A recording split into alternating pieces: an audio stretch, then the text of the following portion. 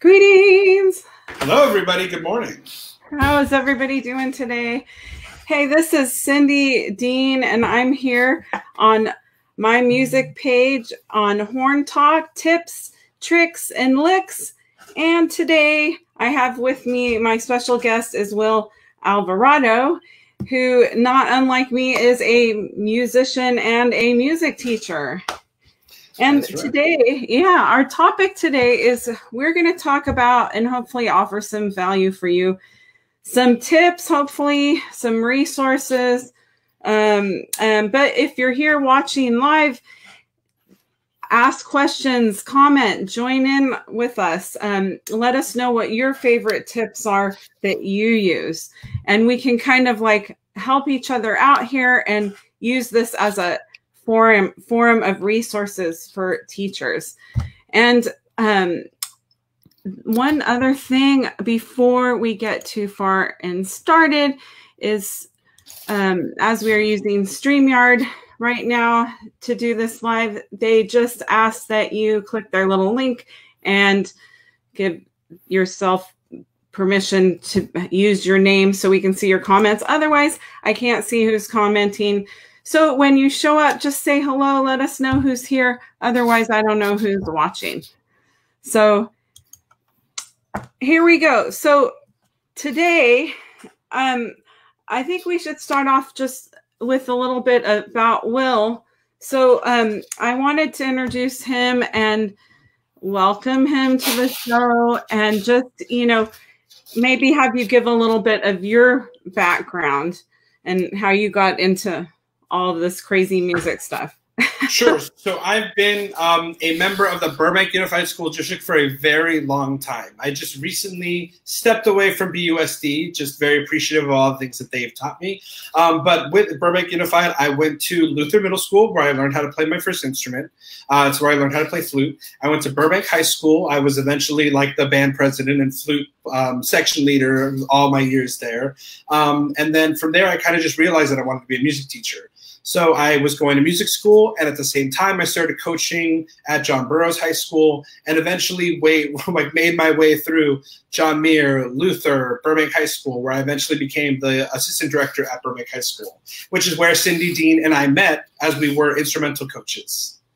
Yeah, so it's kind of cool. You were local to here with your own school, and then you were helping and working in the schools here. Yeah, so I really enjoyed learning and working through the Burbank district. At the time that I was there, a lot of the band directors we had were very good at working with each other and collaborating and creating really cool events, which I really enjoyed being a part of, kind of all those collaborative efforts. Um, but I was uh, realizing that just by you know, being I couldn't be like the big fish in the small pond anymore. So I had to leave Burbank, and I'm very happy to say that now I am a full time music teacher at a private school that I really very much enjoy. And um, it's very different than teaching high school and middle school though, because I'm teaching elementary only now, and it's a huge difference, but I love it.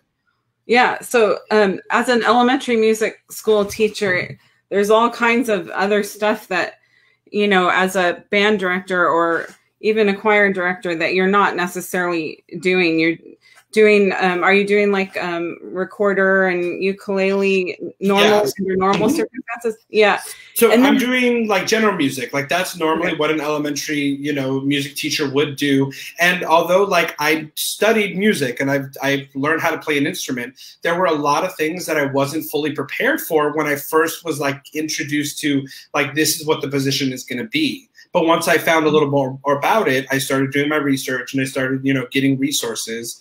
And I'm now teaching, you know, general music. I'm playing piano. I'm teaching singing. I'm teaching recorder. I'm teaching ukulele. Like all these other um, avenues and, and ways to be able to keep music fun. Yeah.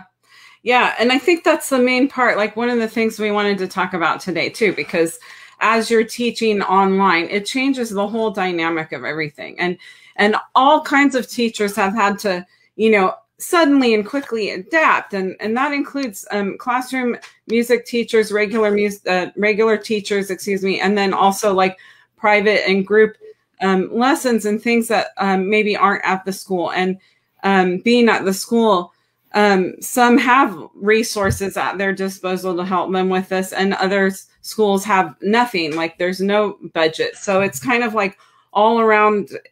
I think some some of it's like fend for yourself, and some of it is like like every teacher having to buy your own re, you know find your own resources and get your own things together and stuff. And so hopefully some of this stuff will go over. Will at least like give people a place to start if they were looking for new things. Because mm-hmm. i know you were telling me just like i've done you spent what hours looking for things to make stuff fun, right? Yeah, I, mean, I, feel like when the pandemic first hit, like first when we all kind of started switching to our distance learning and learning from home, that at first there was just a moment where I was frozen. Like I was just like so shocked at what happened in the world. And I was like, so what does this mean for me? Like, what do I do now? And so many people started just flooding, like, oh, join this Facebook group and this book group, you know, Facebook group with all these people that have all these great music resources. But then I got flooded so fast. Like I there was yeah. too much information that I couldn't keep track. I didn't know what to check. I didn't know what to test because there was just too many things out there. And so I needed to step back from that a little bit and just go to some of the tools that I already had in my own backyard, in my own pocket that I've used before and I found that they some of those made me very successful. Yeah, and I think like so the biggest thing um I I realized too, well, I did the same thing. So what I noticed too is um I think this is kind of an important part of the discussion for private music teachers too, because um, a lot of times there's so many um, resources uh, that when I was looking that are geared for towards piano teaching and piano teachers, which is completely, totally awesome. Um, but as a person that also teaches brass instruments or view, for example, other woodwinds and different things like that, it there's like a whole other aspect of sound and and using Zoom and different things to teach online that I feel like we had to overcome kind of like on our own, although there was plenty of resources. So I just spent so much time going through some of those Facebook groups and different mm-hmm. online resources to try to make things work. But then you have to talk to the parents, right? So, like, you gave me this uh, really helpful um, paper about like how to set up Zoom just basic. Mm-hmm. And and and rules for Zoom, and I think like a lot of music teachers don't think about that, especially like if you're teaching a, a class. If you're a music teacher in a public or private school, it's probably something that you think about a little bit more. But mm-hmm. as a private teacher, I think we sometimes we we kind of overlook it because we're used to being in person with like a very small group or maybe just one person. Yeah. And so I think management is like a whole new thing that really has just like how you manage a classroom online is kind of like a whole completely different thing than managing a classroom in person. Where I think that a lot of times, like just being in a physical space with students and being able to offer just like a hand on the shoulder, right? Like when you need someone to just kind of be with you, that offers so much to help when you're teaching in person. Like just, hey, you're with me, right? Okay, cool. Redirection, right? But yeah. online, all of a sudden, we don't have that ability. And then we also don't know is a kid messing around with the computer in the background? Is this happening? Is that happening? So I found that, like, from day one of upgrading my Zoom, because I went professional immediately, I wasn't yeah. about to, like, use the free version because it seems Zoom is very helpful. Yeah. I got rid of annotations. I got rid of screen sharing. I got rid of every bell and whistle oh, that a yeah. kid can access because I was so tired of having to like fight them and be like, oh, somebody drew another something. Okay, let me delete it with my mouse. Like yeah, I just couldn't we, deal. I had the same thing. I had studio class and a couple things, and I always had like one kid, and I'm, I realized later, oh, I can set this. So I had to really just go over all the settings and you know, I found helpful YouTube videos and stuff, but now I feel like I could probably create my own after going over this. But I mean, like I would type emails to parents, okay, this is what you need to do because this is not a regular Zoom meeting. This is a music meeting. And mm-hmm. so the sound settings need to be right. Yep. And I would type things out and it's it's not like they don't read them, but I some somehow some things would get lost. And then I found a video that was already made that I didn't have to do myself that explained everything I'd already told them. And it was suddenly like, once I sent the video, you know, that week was so much better, but it was like experimenting and everybody has a different device and yeah, I think there's a little bit of hesitation to try a new software, to try a new program at first, because you know it always incorporates some kind of signing up, some kind of giving away of personal information. But I mean, fun fact: if you're on Facebook, they know everything about you, right? So, right. like, I think you can sign up for Zoom or whatever else. I mean, me personally, not signing up for TikTok, but whatever, yeah. right? but um, yeah, I think that that's just the hesitation is just to sign up for a new program because parents right now in schools are like, oh, their classes are working working on Google Classroom, and these are working on Skype, and these are working on FaceTime. These are working like everywhere we're working is just on a completely different avenue because so many people's educational needs and their teaching needs are met so differently from each other, right? So everyone just yeah. needs to find what works best for them. And for me, I was already very comfortable with technology. So I already had a handful of apps and, and things that I used that really streamlined me going from in person to online. And I have to say, there's so many very helpful um, teacher, piano teacher blogs and piano teacher groups and and um, and everything else that they have so many resources that I've been able to adapt a lot of towards teaching other things, and maybe not using them exactly like you would for piano. Uh, and maybe I can't use all of the resources, but there's plenty of apps and things um, and and stuff that are for any instrument now and and just like practicing and and um, listening. And i mean there's even like there was this one there's this one game and i think it was i found it in a band director resources mm-hmm. and it's called chicken scream. Chicken scream. And it's like the silliest game ever. And i i told my students about it. We didn't end up doing it. We did in our lesson like once or twice, I think. Mm. And we don't do it very often, but it was just like a way to get them to play and pick up the instrument. And like when you have a beginning wind or brass um, player that like, especially brass, because they don't always have the muscle memory to pick out the partials. Hear, yeah, hear the correct pitch partial. And so this was just a way to for them to practice playing any pitch loud and soft in this yeah. game. And I had some really young students, and the parents were like, "Oh, they're having so much fun!" And it was like because I found it with this band director's list of resources. You know, mm-hmm. so just like me doing my own research online. Wait, Cindy, do you have a mouthpiece handy? Uh, yes, I can. okay, down. we're gonna play a game that I do with my students. So go get oh, yours. Cool. Okay. Excuse my mess. no worries. I have to warm up on my mouthpiece myself because I know going at it cold is not easy. I know. I have. I, I have today. I confess. All right. Okay. So okay. I'm gonna buzz a song on just my mouthpiece, oh, and God. you have to guess what it is. But it's we're gonna keep it in the beginning band books though. So okay, you should know this one.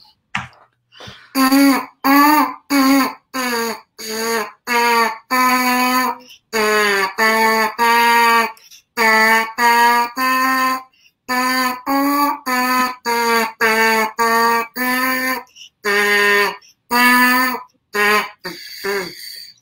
can't do the low notes. no, it's all good. London Princess. yes, you got it. All right, give me one, Cindy. Oh, phew. keep it easy. Keep it easy. Okay, just for one second, I just want to say if you're joining us right now, thank you so much. Give um, StreamYard permission so that you can comment and we can see your comments. And if you're watching on the replay, we're going to come back and answer any questions you have. So just let us know you were here. And just, you know, let us know you're here by um, just saying a hashtag replay, you know, mm-hmm. so that we know that you came by and said hello. And, um, you know, please feel free, share, like, comment, um, share your tips. So. I, I just want to kind of put that in there every once in a while before I forget. Okay. Mm-hmm. Okay. So going on. yep. All right. So your turn. Give me a song. Oh my God. Okay. Um,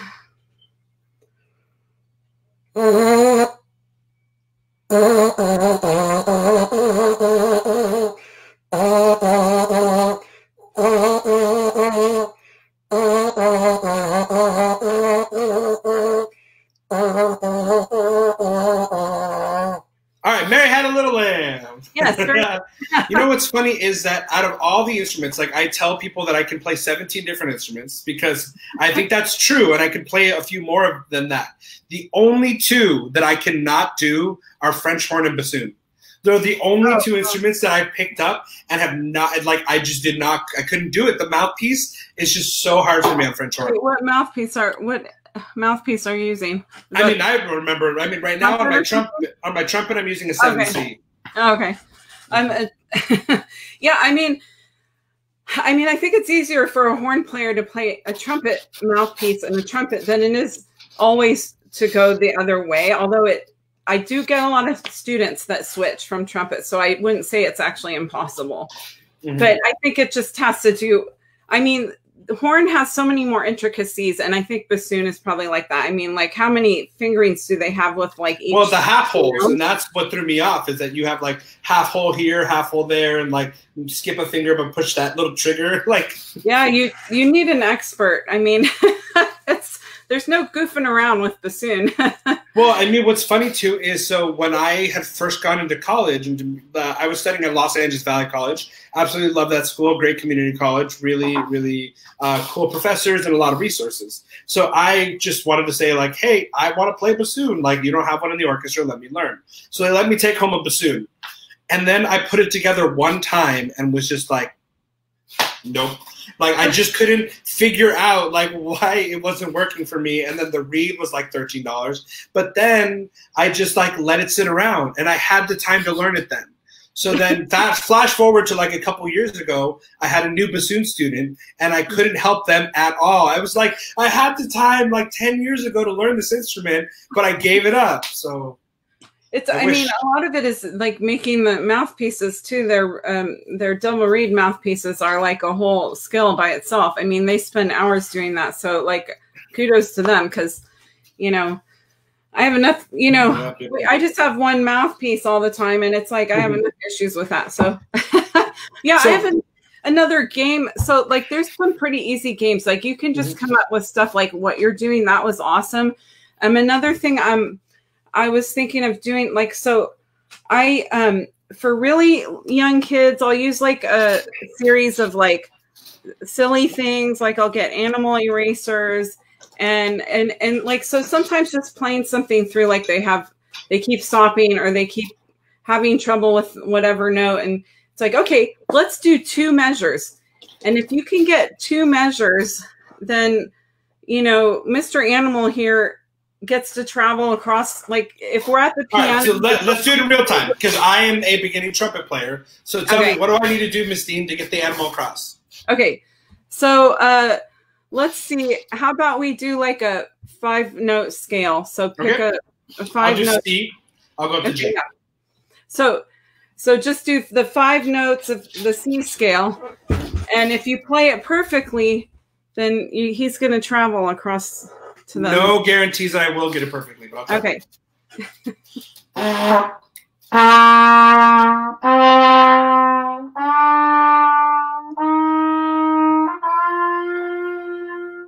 Yay!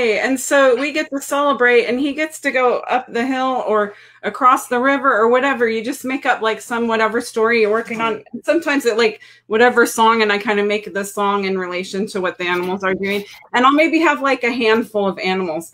I don't know where mine mine are not all here right now and we'll do it like a bunch of different times. And so, like, that's a good example of one because sometimes it's just like they're getting caught up on something. Mhm. And once they see, and it's like the goofiest thing. And some of my kids that are a little older still think it's like hilarious, you know? Yeah. Mhm. And so, um, so we kind of do that. And then, um, like sometimes it's just like, okay, you have like a two line etude and maybe it's only eight bars and it's really simple, but like they're not getting it. So we'll do two bars at a time. I'm like, okay, we have four animals Mhm. and um, every two bars, if you can do it perfectly, once it's perfectly, one animal will go across.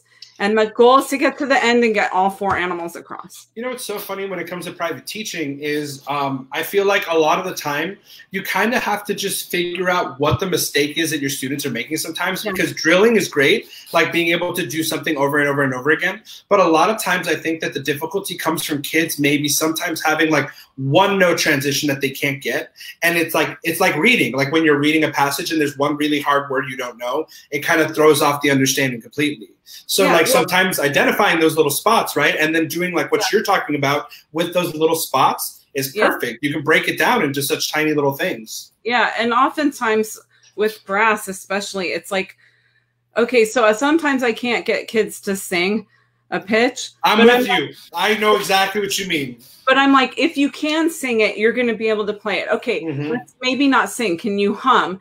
Can you whistle it? And I still have some kids that go like, eh, I can't do that.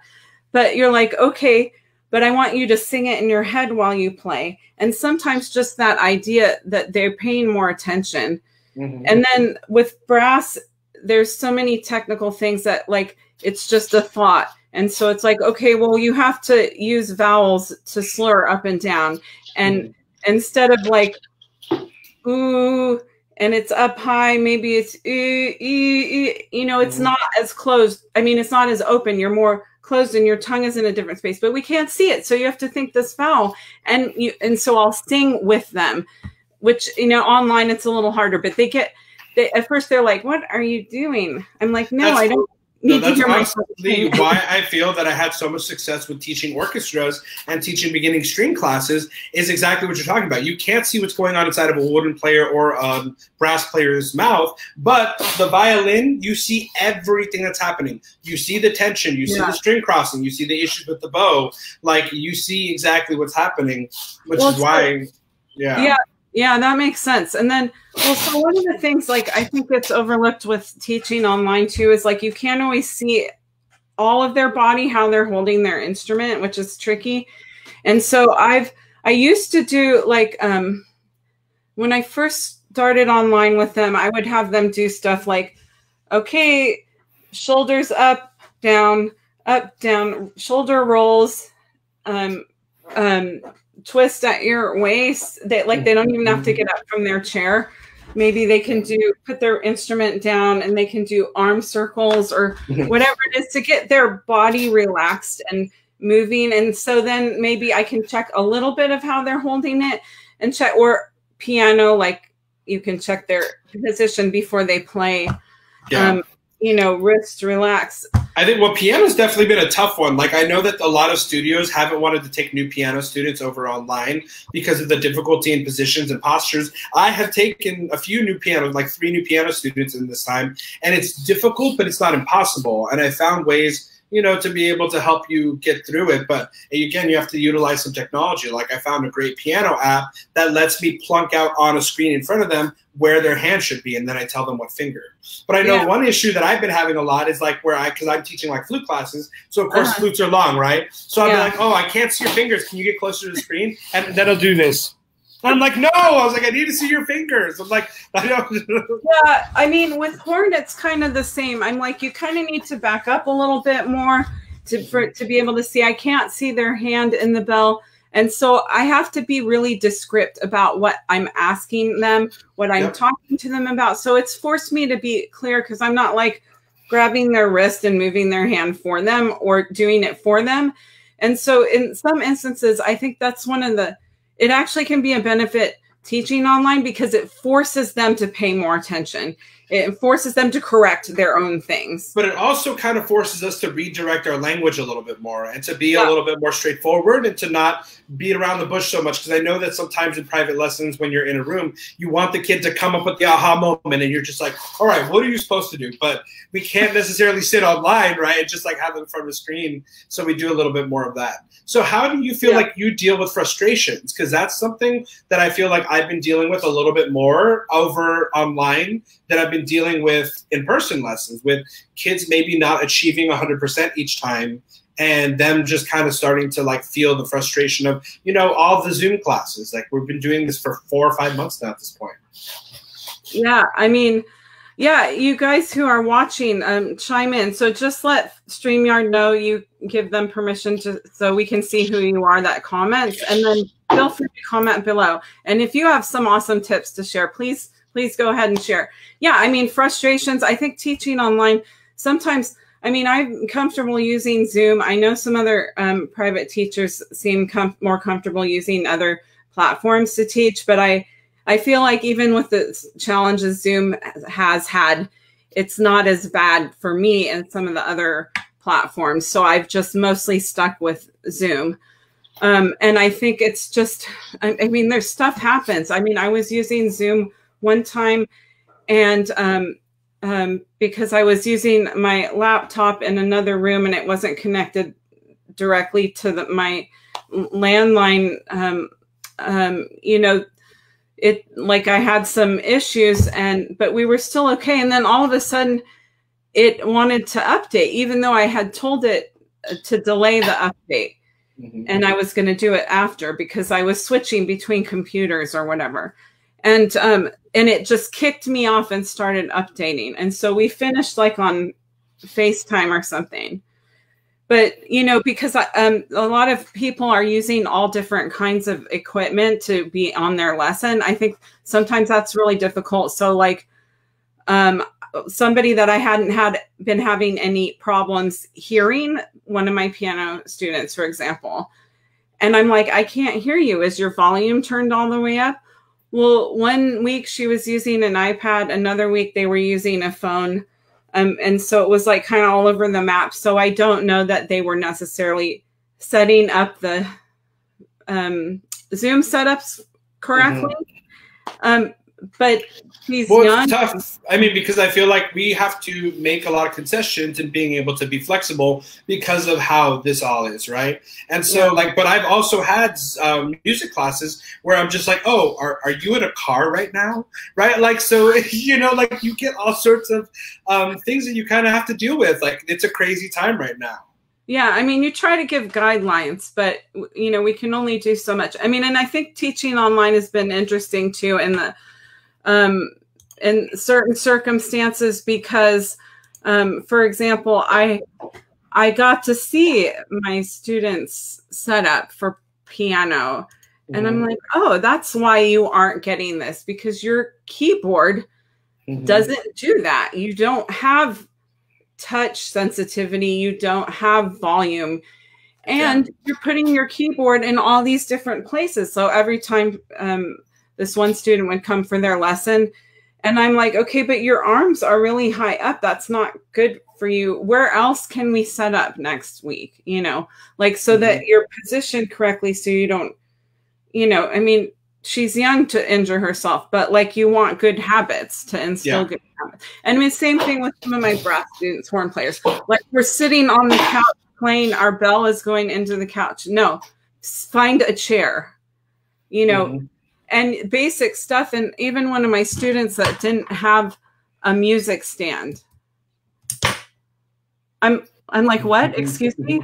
because I was teaching at a school privately. So I didn't I mean, I'm like, okay, it, it would just be really helpful if this if your child could get a music stand. Yeah, I know, but I feel like we do like you have to make all these changes to like yeah. kind of meet them halfway a lot of the times and it's like not necessarily what we like it's not and, what we expected because like when the world turned upside down all of yeah. a sudden we have to put ourselves into this other plane of thought out of right. nowhere right and like these other things that kids might not have resources at home yeah. which also makes it difficult like imagine yeah. teaching a general music class and you're like oh you want to do like you know rhythm sticks or shakers or whatever and you're like oh wait you don't have any of those resources that I have at home. Yeah. And so sometimes I'm like, okay, how many books can you prop up your device with so that I can see you better? or what else can you use besides your stand to put your music on so you're not looking down at yeah. the floor or whatever it is? Like, yeah. let's find another solution until we can do something. I mean, I've definitely been a huge fan of purchasing purchasing digital copies of all my music now. So this is something that I've just been doing in the last couple of years already. So it's been very helpful. Um, is that I really do just have like a digital copy of every single one of my books, pretty much um, that I use, and I can share share screen. But of course, we run into the issues again. Like everything runs into some kind of issue. So the issue that I run into here is okay. If a kid continually keeps making the same mistake over and over and over again, what is he supposed to write in? in like what is he writing on? Like because I can't like yeah. individually every write every single kid's PDF or whatever. Like there's only so much we can do, and the expectation is you print out your music, you keep it with you, and you write notes on it. But right. like again, like if we're not there, I mean, who knows how many kids are like, oh yeah, I have a pencil, you know, like yeah. yeah. Well, and I um with some of my private students, I made a few trips actually. I'm like, okay, where do they live? Okay, I'm gonna drop off a packet, a packet, mm-hmm. and it's gonna have you know, stickers because some of my kids are pretty young and they, you know, it's like rewards and it's going to have, you know, a few things to help them kind of organize their stuff. And, mm-hmm. um, um, and I did that once, but you can't keep doing it too. So, like anything that's online, any um, resources using online stuff, like, um, I haven't ever used it. If any of you um, that are watching have used it, let me know. Um, um, Tonara is an app um, for um, specifically for um, studio music lessons. You can do lesson notes, video assignments, scheduling, and so you know that kind of thing. So like um it's one app that a lot of uh, I've noticed a lot of piano teachers have been using um, that at some point I might try. And I know, like when you have a lot of private students. And were you saying was you saying that that it helps with scheduling? You said it's uh, it's like uh, I'm not sure about the scheduling part. I know that you can put all your assignments on the app, Mm-hmm. For the student, you can send them videos and they can also send you videos. There's like um, calendar, so I think it might be scheduling. There's another app called Fons, um, the uh, guitar player um, teacher um, put together, and it, that one's specifically for billing and scheduling.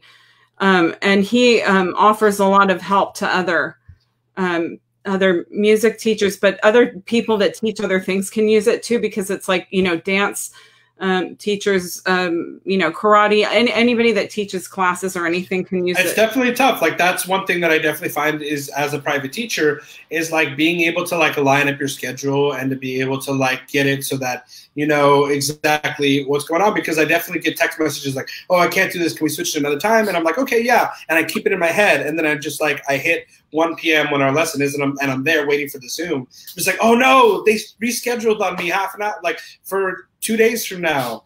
And so yeah. I definitely start to lose track a little bit because I definitely you know have quite a few students so it's really important to keep track of that i've been using my like iCalendar to like literally beat me reminders because it's just so much to keep track of but if there's an app that does scheduling and billing yeah cool. there's a few so um, those are two um, newer ones um, that i haven't used but that i've been you know considering mm-hmm. Um, and that people think very highly of um, and there's another um, piano teacher resource that I use. I, I, have a subscription, but she has a lot of free resources, and um, it's a vibrant music teaching. And she has like all these games, and there's PDF games, but she's also got um, games for teaching online.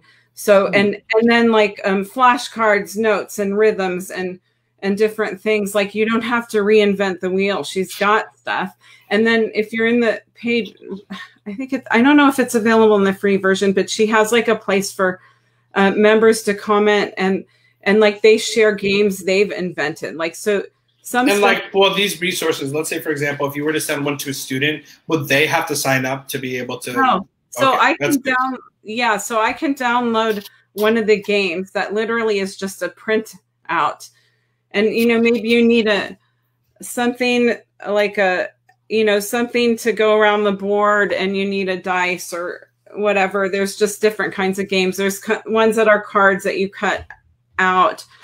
Um, she's got all kinds of games and she's got them categorized by like um, levels and um, uh, rhythm, um, note name. Um, just like it's like if you have one specific thing that keeps coming up in your lesson that they're having trouble with, um, you can look through her list. Like, okay, let's look up, you know, rhythm, and she's got like some oral listening stuff, like um, using solfege, for example.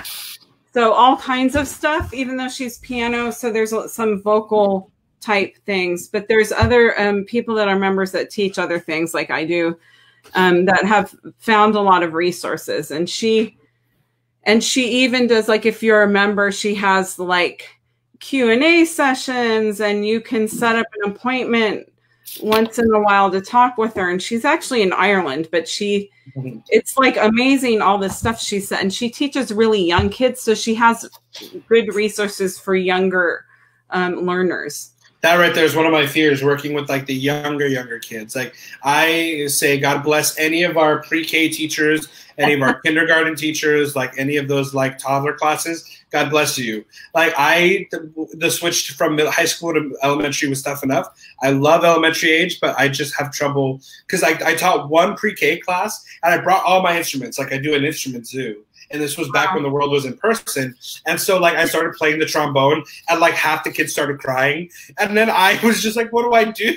so I mean I am traumatized. She I mean th- yeah, I mean any you have to look there's you know different ways to teach younger kids and and um and some people that are more experienced with that. I mean, it's definitely a skill, but there's things that you can use and she has, actually has some um, resources that people use as small classes to teach, like preschool music based on the piano, for example. Mm-hmm. So she's been like this amazing her resource. And then um, you you mentioned Scribd, which I actually had used before. But Scribd.com I mean, it's normally for books, but it's one of those book. Um, um, it has so much sheet music. Like I did not realize that it has an insane amount of sheet music. It has Suzuki books. It has um, uh, Rubank's Elementary Method. It has Arban's book. Like it literally has just about everything. Yeah, it's worth paying the monthly subscription fee for because you can read other stuff too besides yeah. music stuff. Yeah, so it's I think it's eight ninety nine a month, and I use it like I screen share with my students all the time. Like I literally found like every single like these are the top hundred songs you should play on this instrument for like yeah. every instrument, and so I'm just cycling through them with all my students. We found cool Disney music, and just like Cindy was saying, like I read my own books now too, just off there. Yeah, I mean, there, there's this uh, noteworthy um, horn method that um, Julie Landsman, who um, used to play in the Met and teaches at Juilliard and other places, um, uses this John uh, this uh, Caruso method book, and and that's on there. Um, and she knows how to teach it. it. Sometimes these method books, it's like if you pick them up, you don't know exactly how they were taught, but but there's things like that, and there's like the Clark trumpet book, and there's stuff on there that you know is useful, and there, there's plenty of beginner books and um, like you were saying, like Disney tunes and things. So it's easy mm-hmm. to find stuff because I think that was the biggest problem with Horn is that um, finding PDF methods. There's so many piano and voice things available, but not necessarily for horn. Yeah. And I wouldn't say that Scribd has all the best beginning French for example, books on there, but there are some. So it's not like you can't find any but it just gives you like a wide variety. Like that's yeah. what i think Scribd is good at is because i have a lot of the classical repertoire and a lot of just like very basic method books but Scribd gave me all of the like songs with pieces in them that i could teach like pop songs and all these other things that made it a lot easier to be able to like get kids buy, to buy into. And, and and i think it's fun. It, it keeps it fun for them. I i've just noticed that the more stuff i do online with them that's fun the, the more they want to keep coming back i mean they we do try to work on basics and we try to work on brass warm-ups for the horn players and different things but and we do technique stuff but we have to fill in the gaps with some of these other things and um and games is one thing and and i said okay is there a song that you like that you want to learn mm-hmm. that maybe we can find the sheet music for and I'll rewrite it for you or something. And with that, like I use Noteflight. Like I personally like the website Noteflight, so I will customize write pieces for my own students. Or you can even search through a whole giant list of public scores, and yeah, and that's where you can find a lot of that music. What's funny is the other day I was doing a group class for my clarinets and trumpets, and so I didn't realize that I have a very specific formula for my lessons until I went out of order and my student corrected me. So like I didn't realize that I normally do some kind of like hand finger body warm up to start with. Then we usually watch a video and then we do our lesson and then we play a game at the end. So I was doing my lesson. We finished our body stretch, and I said, "Hey, um, all right, let's play a game." And my student was like, "Mr. Will, we always watch a video first, and then we play, and then the game's at the end." And I was like, "Oh, okay, I'm sorry." And then I realized I'm like, oh wait, that is my like that's my formula, and they memorized it before I did. You went out of order. How dare you? Yeah, I know, and that's important to some kids. I think it's good. They they like that, and they know what that's about. And I mean, like, um, I created a class for my um, horn students. Um, there's, you know, just a warm up class, just teaching warm up technique because what I found is some of them they don't have very long lessons for one thing, most of them. Mm-hmm. And this was just like another way to get a few more things in that they hadn't learned. But I can't hear them because I make them mute. But every once in a while, I'll say, "Do you want to demo demo for me?" Mm-hmm. And so they will. And so that's kind of like a serious class. So then we try to do like more fun stuff if they're taking lessons from me so we can get a I mean, few. What's so interesting too is like the tricky part is because of the delay, you also could just bite the bullet as a teacher and just be like, okay, you play, like follow me, and you start playing, and then you hear their delay in your ear while you're keeping your own time and try not to get thrown off by them. So, but that's like a new skill I think I've learned is how to keep playing with out of sync students. and I feel like the delay has gotten better actually, even on just Zoom because the other day we were playing and we were just doing like slow a slow like scale type warm up or something like that. I forget what exactly, mm-hmm.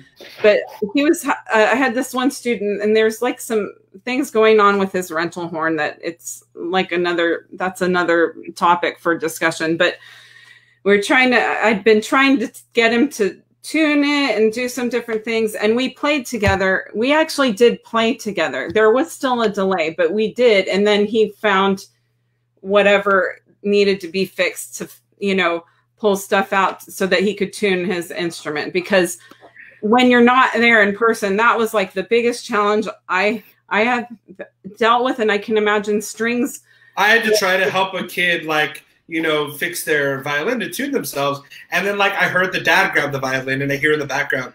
I was like, oh, just twist and push in, but don't go too far. He's like, what do you mean too far? And you hear the string break, and I'm like, that's what I meant, too far. and then you can't help them change it because you're not there. yeah. yeah. So there's all kinds of challenges that come up, and you just have to kind of be like, oops, okay, let's see because and I mean it was one day where I spent the whole lesson helping this kid had to get this new instrument because the other one was having problems and they dropped off this one that wasn't even like any close where close to what he'd been playing on, which is okay because he's a beginner. But it was so out of tune.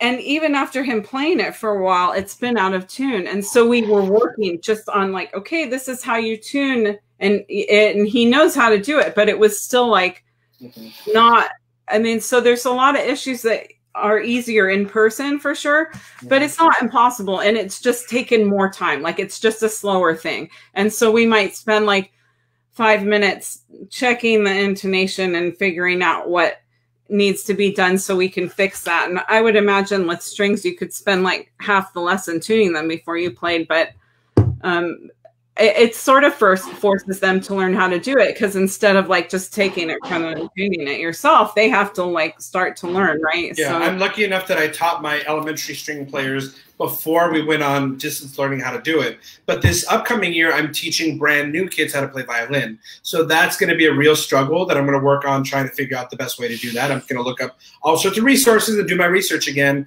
um, because starting strings from brand new while via Zoom is definitely quite a bit trickier because of how many posture things there are. So, yeah. you know, looking forward to what this year's going to offer. Yeah. So if you're a music teacher watching this live or on the replay and you have tips for us for anything that doesn't have to be about strings, it could be about anything you use to do teaching resources, stuff that's worked for you, ideas you have, things you've used, chime in, you know, comment below. If you're watching the replay, you know, just do hashtag replay. Let us know you stopped by. If you want to get our list of resources that we're still kind of compiling, but um, we have a good list right now, just type hashtag resources in the comments and I'll contact you and get that out to you as soon as I can. Um, this is just that we're trying to have the conversation. We'd like the community that works in the same field to, you know, comment, share give us your tips and feedback too because we're not the only ones teaching and everybody i talk to has so many like of their own unique tips and things they've learned and and that's kind of where how i've gotten to be able to do things and gotten to the point i'm at now. And you know you started i mean what are you going to do when everything goes online? I mean are you going to give up? Are you going to just dive in and learn as you go because that's what all the regular teachers had to do and all the regular music educators had to do. And so us online private teachers and that type of thing you know some people hesitated and some people didn't. And um and and i think that those of us that all had to dive in or chose to dive in had you know had first whether we knew what was going on or not. You know we just made huge strides and and there we're all learning and there's and things like keep coming up like there's new resources all the time. And you know like if you're a regular educator you're probably familiar with teachers pay teachers but there's all kinds of music um, teaching resources that even private teachers can use. And you were saying use that a lot right? Yep. um, just pay teachers. And um, but if you have your own tips you can actually um, apply to submit your own things on there to to sell i think too. So um so there's stuff that I think people have had to create on their own that you might be able to make a little bit of extra here and there just by using that resource as a place to, you know, to sell and different things. So, mm-hmm. um, um, I do you have like so I still think there's a lot of benefits to being online. I mean, one of the things is if you're a private teacher, you can teach somebody that's not nearby if you choose to and um, um, keep them online and and you know make your day more compact and less spread out right hour wise well especially living in los angeles we know all about the sprawl we know all about traffic like there's a lot of things that we have to deal with. So if you can still offer a quality education at a even like a discounted rate or something if you're online and then you know be able to because we also have to advocate for ourselves and make sure we're getting paid for our own time and traffic and gas is something to really worry about. That I, when we switched back in person i would do like I'm going to start doing a travel fee because I could teach online. Yeah, I don't think that discounting yourself online is the answer, actually, because I feel like we're undervalued as mm-hmm. musicians and music teachers as it is pretty often. And I've also found myself, so like teaching, I had quite a few beginning first year brass students, mostly French horn, but um, I was doing twice as much online, which I think a lot of teachers were trying to figure stuff out too. But even just planning and stuff is it takes a little bit longer. And then so it's your time and it's valuable and you need to and people need to realize that. And so you know to me it was like okay well if you're having trouble paying let me know. And you know, you're doing a longer lesson maybe we'll do a 30 minute lesson or or whatever it is. Or um, um, but the other thing was like i was giving them extra value because i was making playing videos for them. Yeah. i was actually just using my phone and mm-hmm. because I because just like I have a better setup on the computer, but just for quick purposes and whatnot, and it was still fine. I'd make a plain video of something because, like I said, the books I was using weren't online, didn't have yeah. MP3s, whatever. I, you know, they could play along with it. I did a lot of that with duets. So I'd play both parts. So they could learn each part separately and then play with the recording and it's just a private YouTube or unlisted YouTube mm-hmm. link on my YouTube page. And that was all I was doing, like just simple, really basic. So there's a lot of stuff you can do that adds value. yeah. uh, and especially just being having to do it kind of because you're online. That I think that um, people um, don't realize that uh, they don't realize that they're not the teacher. They just don't. Um, but you're giving them this value, mm-hmm. and so there's other things you can offer, especially as a private instructor or group instructor that people are paying you not in the school but outside the school that you can offer um, um, as value um, that like for example you could have a facebook group you could do an online um, zoom uh, you know recital um, maybe the horn students aren't going to have a pianist with them but that mm-hmm. doesn't matter. Like you could make a you spend a lot of time and you can put a video clip together of all their videos if you ask the parents to submit them. That's like too much like that was too much for me. I didn't want to do that. I just had them play live online you know and but i could do it more often. So i could say every month we're going to try to meet at this time and and maybe they didn't have to have a whole piece learned. It would just be like play minimum of four bars of something you're working on that you want to share that you feel good about. And it was mm-hmm. getting the kids that were super shy out of their shell and able to like play something for someone else even though it was online. And some of them i don't think would have done it in person. Yeah. So i don't know. Do you have any like um do you see any other benefits for what is your take on it? Like what what are some benefits about distant lear- distance learning? Because i think a lot of times we're just thinking about all the hardships it creates you know? Well i mean i think that it's given a lot of students the opportunity to kind of pick and choose what some of their hobbies are a little bit more and to be able to just kind of focus on something. Like a lot of like i have way more private students than i've had in a long time and a lot of them were the ones who sought out wanting to be better at their instrument like yeah. because they're sitting at home and so they're taking the time to be productive. And i really just think that it just gives you it makes you more creative. It makes you really have to think on the fly of how to help these kids not only with their instrumental learning but for the fact that they lost their entire social life so yeah. we have to do a little, a lot more with social emotional learning, like making sure that we're paying attention to how the kids are feeling, to making sure that we know what their needs are, to make sure that we're changing things up here and there, so that any kids who are feeling left out or already having issues because of the lack of socialness going on, that we kind of find ways to get them comfortable and to you know facilitate um, that kind of learning within our music lessons. Yeah. Do you have you used the acapella app at all for um any I have used it just for myself, just for fun. Okay. Um, but I've never actually tried it with students. Like again, like I worry a lot about permissions and like having parents have to sign up for stuff, um, yeah. just because it's like some parents are very resist are resistant to that, and I'm okay with it. Like I get why you wouldn't want to like again sign away your information. Yeah, I was thinking for some of the older students, it might be uh, like a fun way to or it, or if you have like so for example if you're teaching like a duo lesson a duo private lesson like a small um, lesson or something it would just be one additional way for them to kind of like work together on a project. Mm-hmm. um, but yeah there's um there's so many other thing ways to do stuff. And there's you know PowerPoint games and different things on some of these resources, and including like the teachers pay teachers and the vibrant music teaching um, mm-hmm. website um, that's mostly that would be like through their paid version but um but she also like there's a lot of podcasts too you mentioned one teaching these days mm-hmm. Yep, that's a podcast. I was a guest on the fourth episode talking about music education. But teaching these days is from a group of like the two, um, the girl and guy that are in charge of it right now are two friends of mine that I met when I was teaching in Israel last year.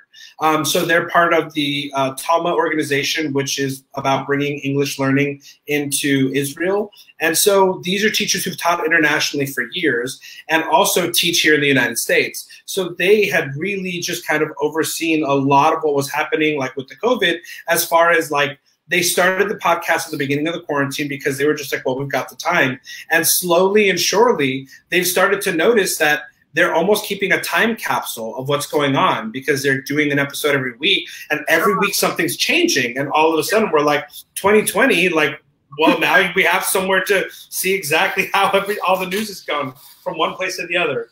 Yeah, I mean, so I'm putting it up on the screen for anybody that was not sure what didn't catch that. Teaching these days is one podcast that one that Will was on, and also Vibrant Me- Music Teaching podcast, and she has a lot of resources for teachers and um, and just tips and all kinds of things. And like I said, she's piano mostly, but I I get so much value out of it too. And so sometimes just some of these resources are just um, that we have are like that. But we've compiled a list right now. I have two pages of resources we kind of like discussed amongst ourselves. And I realized there was a few that I had that I left off actually. Mm-hmm. And there's a lot of music games. And there's one, let's see. I'm looking at my list. Sorry. Uh, Note Rush. Note Rush is an app um, um, and it's it can be used for any instrument and it's like a play along thing and it's like a game and it's like also like a note recognition game. For piano it's kind of like finding where the notes are on the keyboard and playing the right octave and for other instruments it's like actually getting the right pitch to come out which is um, sometimes it's a challenge to find games for um, non-piano students. This is one of those apps that's for any instrument and i've given it to my students and they all have had fun with it. I don't know how much they play it all the time. I don't always do some of these in their lesson always because we don't have enough time but yeah. but you know we might play a game but it, I, I don't always do the app games with them. I kind of let them do that on their own. We might demo it in our lesson but yeah so yeah, I mean, when you have a 30 minute lesson, there's only so much you can do online. So I think just sometimes knowing that the progress is going to be slower, which I thought that some people were going to maybe have an issue with, but what I found is that the parents are just really glad that they're engaged in something that they like. And yeah. so I haven't really gotten any as long as you're keeping the encouragement high it's fine. Like i think that i just had gotten through music school like right in college they were like you have to be perfect for this recital. So we kind of have to drop that a little bit for our elementary students. Like just let yeah. them just make their mistakes correct what you can but it's not the end of the world. Yeah and sometimes it's just a matter of like you know what? We're going to come back to this next week. Mm-hmm. and and it's just moving on and it's like you know what? You're doing fine but this isn't a great day for this. So we're going to work on something else right now. And they're like, oh, phew. yep, exactly. That's that social emotional of being able to see what your kids are feeling, to be able to kind of like gauge their emotional level, and to be able to kind of curb things to help them feel successful. Yeah. So if you guys are watching now or on the replay and you want the list of our compiled resources that we have so far, that we would be happy to add more to if you have any suggestions just write hashtag resources down in the comments. I will contact you and get that to you. And like I said, if you have anything to add, if you have any comments for us, even if you're watching later on the replay and you are not live with us, please comment. Let us know you were there. Give us your input because we know that you are experts too. We are not the only people mm-hmm. teaching. If you are teaching, you are an expert in your area, and we want to hear from you what you have found helpful during this pandemic COVID 19 time that we yep. all have to deal with in, in, in our own way and, and, and teaching online. And, and also like, if you have tips for explanations for how to teach something specific to online that, and maybe it's not music, maybe it's something creative, um, creative arts too. Those are helpful too, because like I said, like I don't t- teach as many piano students, but I use piano resources, for example. Mm-hmm. So there's always all kinds of resources we can help each other out with. And that's kind of what we're having this open communication and conversation today. And I think we could talk for like a couple more hours about it. For real.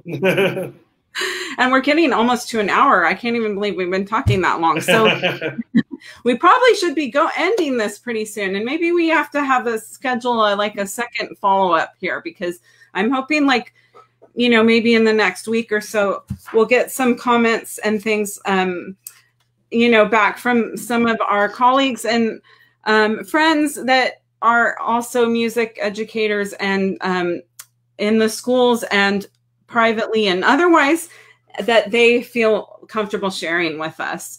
Yep. Um, I know there's a lot of stuff that um, there was that was free for a while when all this happened, and Smart Music is one of those resources that I used like years ago for accompaniment and stuff.